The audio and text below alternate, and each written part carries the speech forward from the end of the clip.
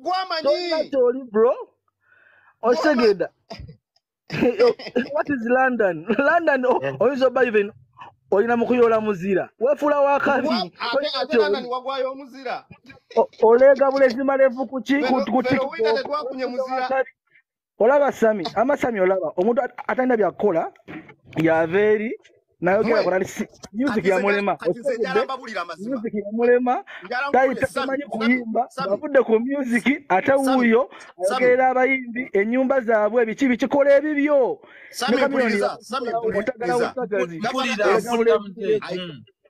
gavana esa so commuting ono fara kubate ya mumanyi n'ekigambo kitera agenda kitwala serious. Bwenaawanya akumanyi bamumanyise bumaawe okitegedde we don't want kabata kabata bwekyakona omusajja talina kyamanyi oyogera bwogezi yo just yapping. You're nothing you are in london okitegedde bye- Governor S, because you are in London.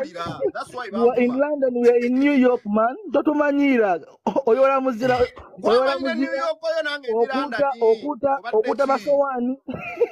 Okuta, okuta, obadde okuta ki? masowaani. okuta masowaani. Wefuula wakabi. Man, ne bakada, even bakadaba bakusinga. Bakola sente.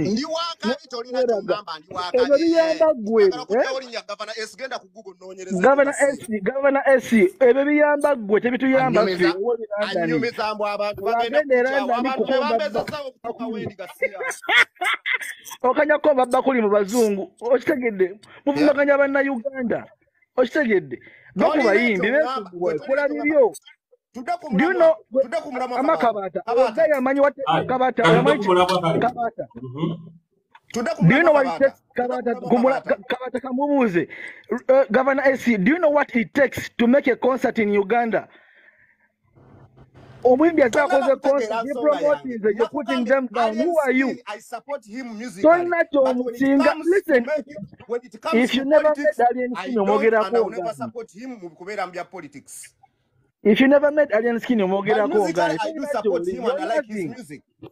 Ah, ned- nedda And olaba that's my opinion. kabata those And guys come here opinion. nebagamba mbono mwagala nnyo mwagala namani namuteeka wansi. If you don't like someone keep it yourself. If you have nothing good to say about someone keep it to yourself. To if you are in London ebiyamba gwe Skin's ebiyamba music. gwe na But when future it comes tebituyamba to ffe That's kabata is in Uganda akusinga. Sam is in Kenya bakusinga abaho Yeah. akusinga. Spin media Tolina bakusinga kyogenda you are a kunkyusaako. beggar you are a beggar. Tolina imagine kyogenda go kunkyusaako. okwamba Eyo na endowooza bakusinga in yange. London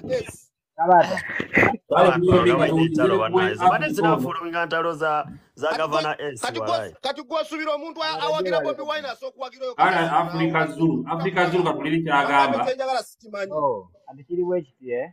Nze ngenda Mhm. kwanalaizinga ku musajja especially political and music eh. Olaba gavana ese ekintu kyeyogera. Bobi Wine yali muyimbi. Mm. Mm. Yava mu music na najoininga. ebwe kiri nange ekyo kyogeddeko nange ekyo kyogedde ekitegeera